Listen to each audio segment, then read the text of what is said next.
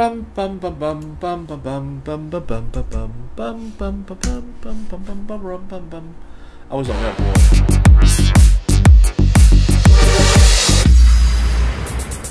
马三一代二点零怠速抖动什么原因？两个啊，一个是节气门，一个是怠速马达、又或者是它的烤耳点火线圈很会坏，所以你要去检查一下欧系跟日系底盘的差别。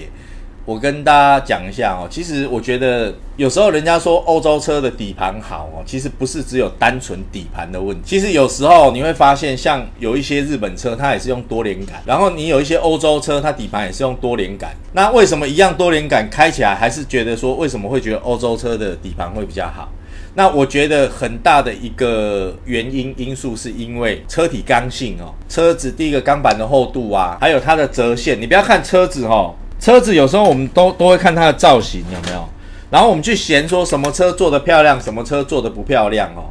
其实他们的每一道折线都有影响到车子的刚性，还有引擎盖上的折线都对刚性有影响。所以说，除了底盘的差异性以外啊，我觉得刚性也很重要。再来一个啊，可能年轻人比较没听到了，有一点年纪的哈，可能会听到什么叫以前日本车西美有没有要去跑这个赛车场。以前的龙潭有没有？到后面的大鹏湾有没有？为什么他们都要去做一个叫做全车点焊？我们之前常常在教教大家看车，你把车子门框的胶条拆下来以后，你会发现旁边有一点一点圆圆的哦，那个是焊原厂的焊接点，好圆的。那那个焊点的密度哈，如果下次你们有机会，你们去比较，其实这个欧洲车的那个焊点的密度比较高，好，全车的这个点焊的数量啊，他们叫做 support 点。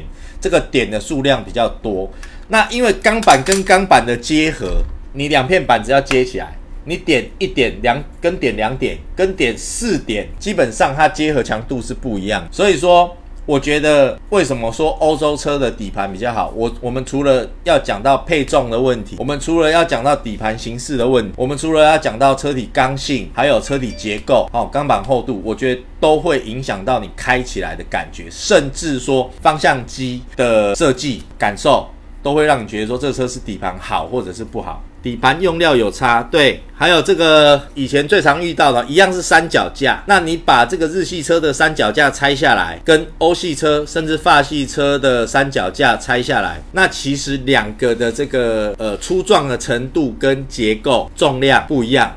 日系车做得到，但是要看它卖多少钱。好，你例如说速霸路就做得到，我觉得速霸路就很接近欧洲的底盘了。速霸路的底盘就很接近，因为我们看它底盘的那个零件料件的重量啊，跟它的品质，跟它的结构的强度啊，其实我觉得蛮高的。所以那一次我拍那一集 STI 的时候，发现它的后车厢盖打开不平整，有一个这个后后结构结构感在那边很粗，所以说一分钱一分货，应该说哈，看出厂他这个。厂牌这个车款的车出来，他想要卖给什么样面向的人，他就可以做出这样的面相。可是啊，不是一昧的做的很厚啊，做的很硬啊，就是好的。你还有配重的问题跟油耗的问题，所以这个其实我觉得那个科技层面蛮高的啦。利米奇弄路搞路后哎，妈整台用跟装甲车一样。结果你有没有发现装甲车其实都开得很慢，速度都不快，对不对？装甲车以前可以开个五十公里、六十公里算很快了哦，所以不是重就好了啦。速霸路未来能按照自己的意向来制车吗？投它入股以后怎么看？其实投它入股以后，就坦白说有一点点，我觉得还是有一点点受到干预啊，就是它还是。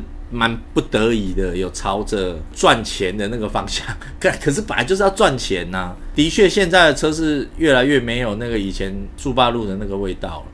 不过，我觉得因为它销往欧洲嘛，所以我觉得一些比较性能的房车，我觉得开起来也也还是不错。目前看起来还是不错了。阿法罗密欧车子之前做过 Julia Q 四，特别喜欢这种车，除了坏掉车子零件带料，还有什么难处理的问题？其实现在比较新的阿法，坦白说，我比较没有经验。我曾经开过一四六、一一五六、一四七，我只能说这种车哦，就很类似。很多人喜欢问我，比如说类似一些菲亚特五百啦，还有以前非常喜欢的一些菲亚特古贝啊、胖头。其实我觉得带料是一个，然后再来一个就是说，我觉得他们的这个车哈，我觉得类似这样这这我刚举的这种类型的车啊，他们那种脾气就是比较。桀骜不驯，好不好？它是真的就是需要你去关心它的车子。那如果你是一个开日本车、国产车开久的人哦，你去开这个车，你会觉得这车很烦啊。这我我都很很像把，我以前很喜欢一个广告，我不知道你们有没有看过。菲亚特五百的广告，它是那个黑红配色的，然后一个西班牙的女生有没有穿着一个裙子，上面摇来摇去，抹个大红唇，然后他妈好像亲要亲你，又把你推开，有没有？好不好？夸开都是，让呢让男人有征服感，啊又。火辣辣的那种感觉，我觉得那个广告拍的非常好，他彻底的把这一种列口味要很特殊，你知道吗？把那种男人爱车的那种心情刻画的很清，他就是很漂亮，很你觉得他热情如火，可是有时候又觉得他很难相，然后你就是要花时间，对不？哎，我刚刚讲，老婆有一天问你，哎，你问老婆说，哎。他今天晚上要，然后老婆就说啊随便呐，你说啊不然我们去吃孙东宝啊啊，但是孙东宝啊暖啊暖，那我们这个我们去吃火锅。哦，天气那么热要吃火锅。哦啊，不然我们去吃哦，你差不多工差不多。一里十种有无？大家拢拢拢有问题，你知影意思无？好，所以下次我教你们，当你们发生这种问题，每次跟女朋友讨论不出要吃什么的时候，你不要问她说我们晚上吃什么，你问她说你猜看看我们等一下要去吃什么，然后她猜出来那些答案，基本上里面就会有一个是她 OK 的，好不好？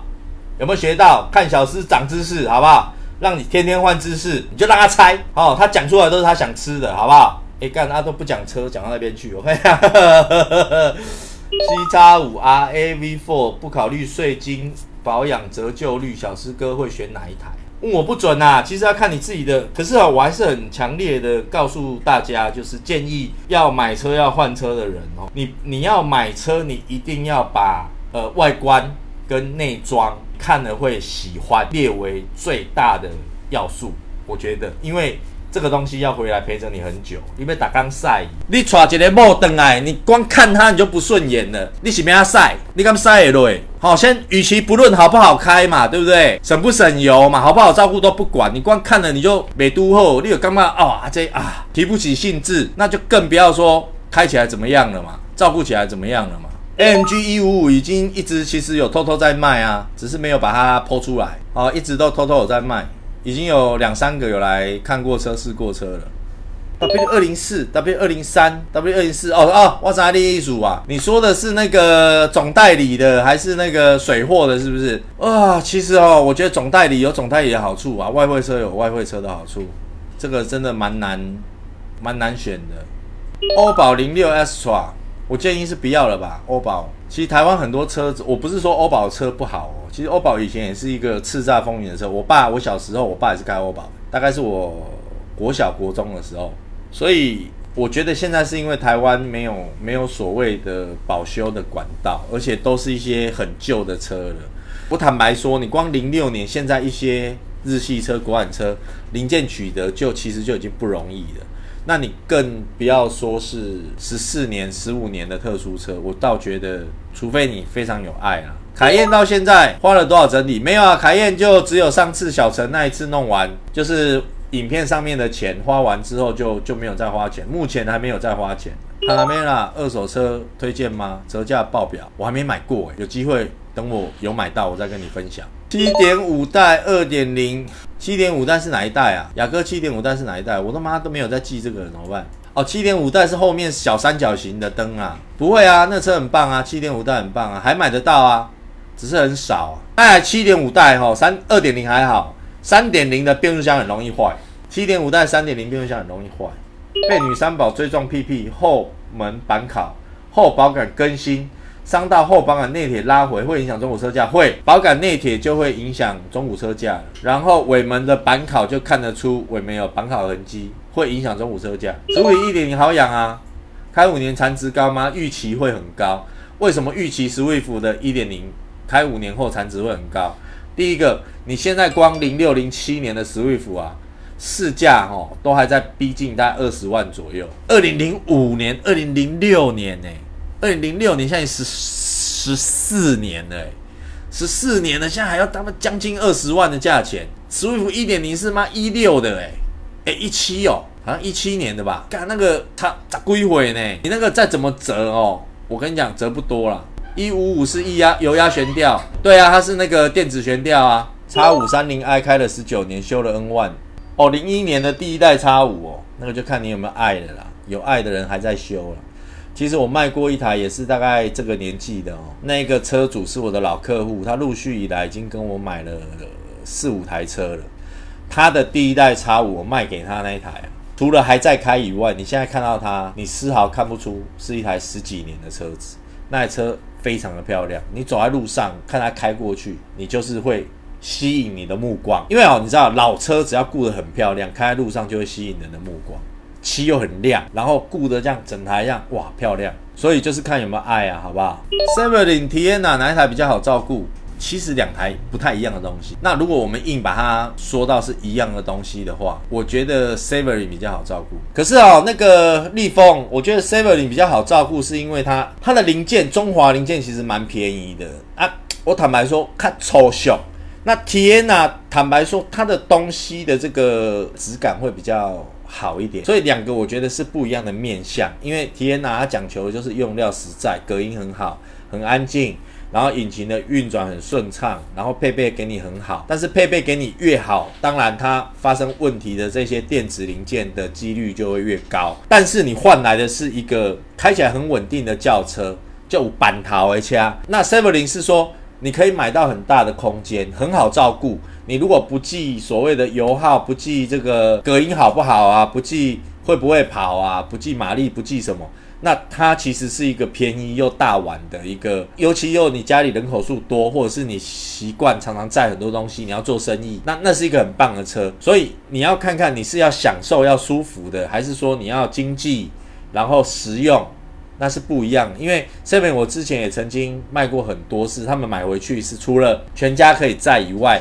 他自己可以做点小生意，好，有的载酒啊，有的送货啊，它可以载一点东西，还蛮多买 Severin 的客户都是因为它便宜又大碗，因为你现在十万左右，十十来万左右可以买到一个七人座又好照顾零件又便宜的车，又简单，妈万年的四缸引擎四 G 六三，万年的四 G 六三啊，这个四 G 六三跟 EVO 四 G 六三不港哦，哦，它只是好看而已哦，它是 s e v e r i n 的四 G 六三黑头的，好不好？所以其实要看你自己的用途啦。但是话说回来，自己喜欢最重要。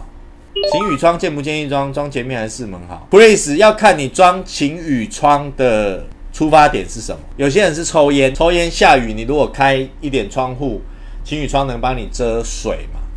那有些是说，呃，家里有成员坐到车会晕车，需要空气的流通，装晴雨窗。呃，如果你是这个原因的话，后座为了空气的流通，建议四个都装，但是风切声会变大，然后车子会变比较丑。拖鞋重考也是很吸睛，当然很吸睛啊！我店里面现在有一台混动红的 t s a l 超吸睛的。某某折旧资本厂跟双 B 比，想买 V 六十，某某买二手车很划算呢。车子因启动保固时将变速箱的螺丝牙崩牙，车商又以前手就弄坏为理由要索取费用，这样合理吗？当然不合理啊！我在这边跟大家讲一个重点就好了。基本上哈，不管是原厂认证中古车，或者是各大车商联盟，他们所谓的保固这个东西，就是他画了一个圈圈出来，然后作为一个行销的依据。因为很简单嘛，每个人消费者要买中古车，问啊保固多久，有没有保固？你只会这样问嘛，对不对？哦，有有保固，两年哦，两年二十万公里哦，五年八十万公里保固结束了，你不会再去问说，好，那保固是怎么样有效，怎么样没效，怎么样的状况好可以帮我处理，怎么样的状况是我自己要处理，他不会跟你讲那么多嘛。你也不会问那么多啦，哦，啊啊，你要问啊，保保护怎么保护？哦，没关系，我们这个九大基建、十二大基建，哈，一百零八项产品，三百六十七项的这个，哦，这个系统都有保护，嘿，我们到时候会给你保护手册，好不好？然后结束了嘛，你还能问到多细？你想问到多细？哦，你内行的，除非你问他，那啊，皮带有没有保护？水泵补有没有保护？空气流量计有没有保护？海洋感知器有没有保护？对不对？或者是这个曲轴感应器有没有保护？节气门有没有保护？等等等等等等等等，你不会去问这些东西嘛？所以一切都是等到你已经交完钱、过完户哦，交车的时候，给你一个保护手册，跟你讲说，哎，那你要回这个指定厂去哦，要去启动保护。靠要启动保护又要花五千，又要花六千，进口车妈？有的要花一万。那这个五千、六千、一万是什么东西？保险的概念嘛，你懂意思吗？你到这个保修厂去启动保护，然后你给他一笔钱。他收你这个钱是什么？保险费，就跟你保什么癌症险、他妈意外险、杀小险一样，你已经先付了一个钱买一个保险，这第一个。第二个，这个保险哈，你还不一定稳赢的。你本来以为哈，你保了一个险，骨折有赔，对不对？结果等到你骨折了。你要去申请的时候还说啊你怎么骨折？啊我者跌倒。哦没有这个跌倒是这个人为因素没有没有。跌倒骨折我们没有我们是这个外力哈如果你走在路上一个招牌掉下来砸到你骨折这种外力的意外的我们才有。啊你就说干那怎么会这样？当初不是这样讲的啊。来来保护手册拿出来。哦我们这里有写。哦要意外骨折才有赔。哦所以其实。这个东西我不能讲完全不对，因为它要保固，一定要给你一个规范，不可能没有规范就随随随便全部都保。好，你登记加工，这个皮椅破一个洞也保。哦，你跟他说方向盘拉起来不顺也保。哦，你跟他说一个灯泡小灯烧掉也保，不可能，一定要有规范。只是说这个规范对你来讲到底有没有用，到底给你多少的保障，这个就不一定，好不好？一般的警报器哈会不定期的乱响，有几个，有的是这个震动感应器久了坏了，那有的。原因会是你的六角锁，就是 catch，我们常常讲 catch 哈，就是那个开关门锁的那个呃六角锁坏掉，或者是有的引擎盖后车厢盖有一个可以顶的，有没有？你引擎盖盖起来就把它顶起来，然后就不会侦测到。但是你如果这个东西坏了，盖起来没有顶到，或是顶起来，他认为你还开着，它就会一直叫。我在遇到一些客人哦，他会说：“哎，小师哥，我的什么车哈，引擎啊有一个声音。”然后我就说：“哇，你这样讲哦，我真的听不太出来。你要不要去找修理厂检查一下？”他说：“有，我的修理厂跟我讲没有问题。”我说：“哎，那应该就没有问题了吧？”他说：“可是哦，我开起来我就觉得有个声音。”我说：“那你要不要换间修理厂检查一下？”然后就说：“小师哥，如果节气门坏，有没有可能会这样？”我说：“哎，这跟节气门应该没关系。那小师哥，你觉得这个会不会是皮带盘的问题？”我说，哎，我真的没有办法隔空抓药，你要不要换一间修理厂再问问看？哦，啊，小师哥，我去原厂查，他也跟我说没问题。所以哦，现在有些医生哦，像我一些客户是医生，他都说现在的那个病人啊，都会 Google 看诊，你知道吗？好，就哎，先生，我哎那个医生，我觉得我这个手哦，这个长了一个水泡，痒痒的，这个是怎样？哦，然后说，嗯，你这个可能是异位性皮肤炎。然后说，哎，可是我 Google 哦跟我讲说哦，这个可能是什么脏东西，怎样怎样，什么虫咬的，哎，然后嗯。我我我的经验诊断是异位性皮肤炎，然后哎，可是我去 Google 又跟我讲说这有可能什么什么，这时候你就看到医生转过去打电脑，你以为他在开药，不是医生也在 Google 看，大家都 Google 看病就好了。MK 五一点六钥匙启动无法发动，重启补油门发动什么问题？你看一下汽油帮补吧，会不会汽油帮补压力不足？因为无法发动有分很多种，我们我我之前有拍过影片哦，无法发动有分是连打都不打。还是打了之后不点火，还是打了之后有点火不送油，基本上那个声音都是不一样的。还是打的时候不情不愿、不心不甘情不愿的打，所以其实不太一样。四 WD Escape Outlander 比较推荐哪一台？Escape Escape 哦，你如果有四 WD 的需求，那你就要买一个真正的真也不算真正的啦，比较偏越野风格，就是 Escape。平价车款后座适合老人家方便上下车。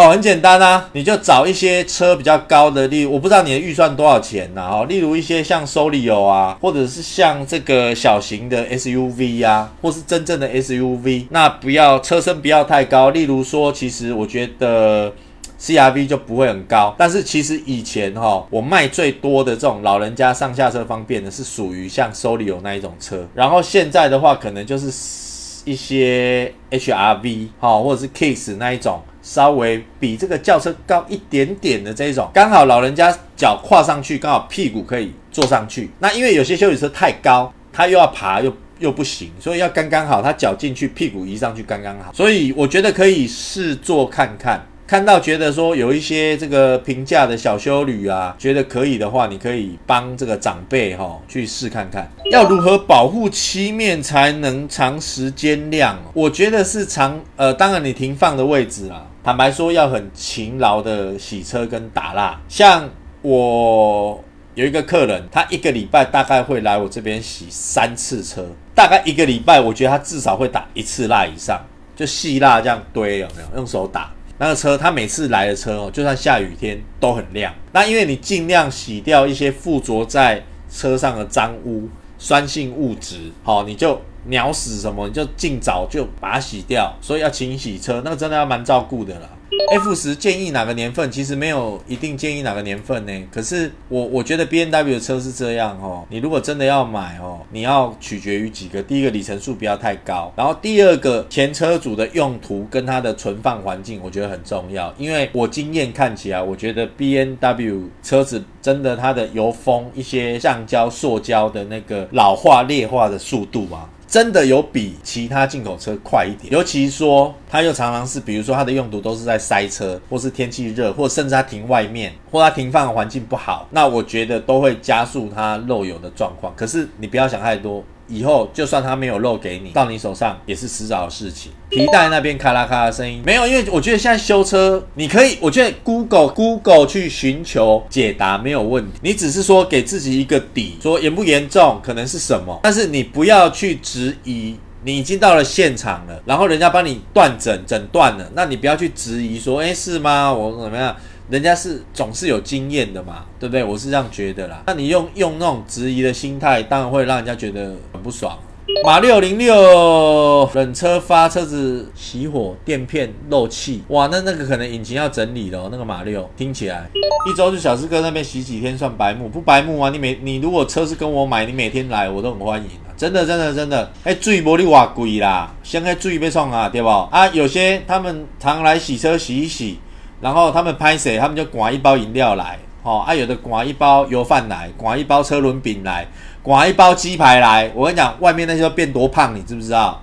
妈，你看泰山就知道，来这边妈胖几公斤了，每天都有东西吃，所以你常来洗没关系。我觉得哦，饮料还比水贵，对不对？啊，汽油再便宜下去，我们就用汽油洗了啦，好不好？都还没收日食吗？新款日食吗？普派，你是说 Eclipse 的什么 Close 是不是？还是真正的日食？我心目中的日食不是那个日食，好吧？我心目中的日食是 For Paul 的那个日食。你问的是哪一种？三点五代 Focus 值得买，值得啊！你花那个钱，没有人跑得过你，也没有人比你跑得过你，都比你难养，好不好？你花一样的钱，没有人买 Focus 的话，三点五代。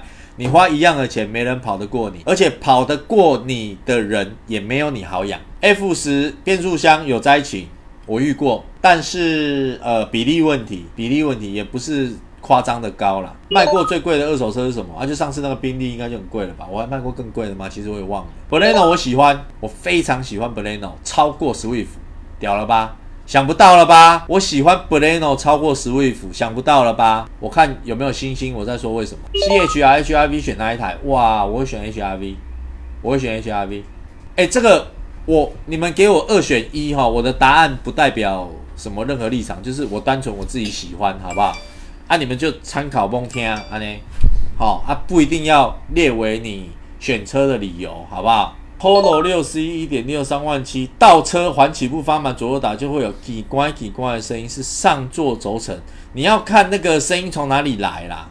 你的几关几关是从上座来的，还是从这个底盘的传动轴来的、方向机来的？你可能要抓一下。其实我跟你讲，大家你要去抓声音哈，一定要找一个人帮你听，就是你打的时候他在前面帮你听，确认那个声音在哪里。我觉得这样会比较准确。或室内有没有？以前我们像我对于那个室内的那个噪音，就是很我很不能忍受车子里面有很奇怪的摩擦声响。所以呢，以前我都常常，比如说叫我老婆坐后面，我开车，我说后面一直有个声音，你去后面帮我听，然后我就开，那他就抓到啊吸住哪里，然后我就把它弄好。就是你一定要两个人去抓声音这件事，因为你坐的位置，你听到你只能听一个大方向，你没有办法知道那个点在哪里。不然你就是叫别人开，你自己去抓。DSG 其实我坦白说，我上次拍的那个 Rapid 真的不是在说 DSG 很烂，因为我真的觉得它在高速、在爬山、中高速开起来真的很好开。可是我就觉得在塞车的时候跟下坡的时候，我觉得不好开。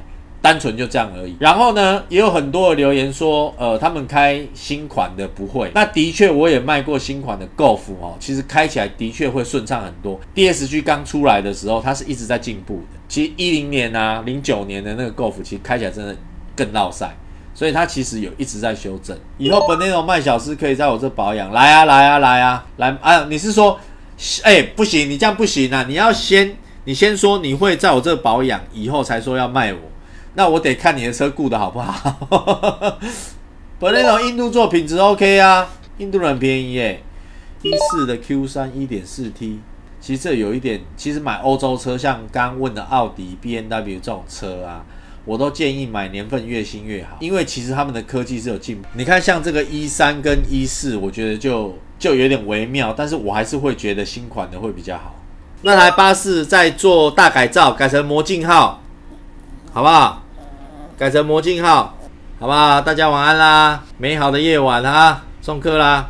大家晚安。